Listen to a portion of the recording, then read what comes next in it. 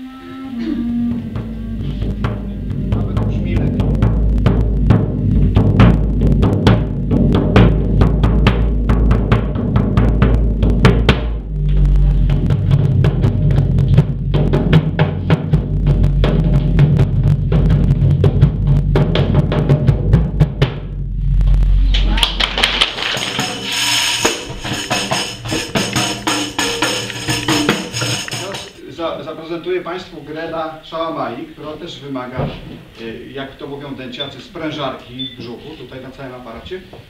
Czy wyglądam naturalnie, jak śpiewam?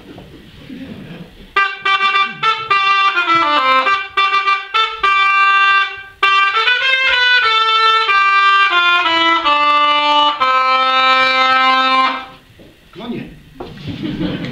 Chciałbym, ale, ale nie. Dlatego to były instrumenty dęte jako takie, były uważane za, za najgorsze. A jak brzmi korda muza? Nieco szlachetniej, nieco ciszej. Właśnie po to, żeby, żeby taki wrzaskliwy instrument, który służył Szałamaja właśnie do grania w plenerze, żeby się nadto nie wydzierał, kiedy kapela królewska grała przed majestatem. To był instrument do grania właśnie w plenerze, więc musiał być głośny. Jeżeli była jakaś parada albo wymarsz wojsk, no to oczywiście towarzyszyło temu kapela. Siłą rzeczy nie mógł to być Gemshorn, taki na przykład jak ten, no bo jest bardzo cichutki.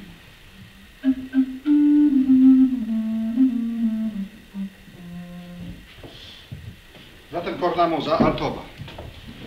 A zagram melodię, melodię ze zbioru magiczną melodię, bo jest to zbiór 150 psalmów dawidowych opracowanych przez kompozytora polskiego w czasach renesansu Mikołaja Gomułkę. Chóry dosyć często śpiewają te kompozycje. I Jest w tym dziele dedykacja dla biskupa, któremu było to poświęcone, nie dla Włochów, dla Polaków, dla naszych prostych domaków. Psałcerz Dawidowy.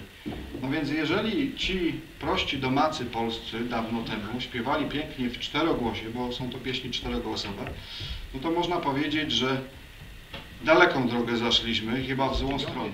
Nieście chwałę mocarza.